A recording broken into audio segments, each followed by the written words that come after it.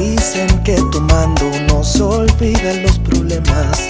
Yo ya llevo dos botellas, suena para olvidarme de guía. Apagué mi celular para no llamarte cuando acabe esta canción.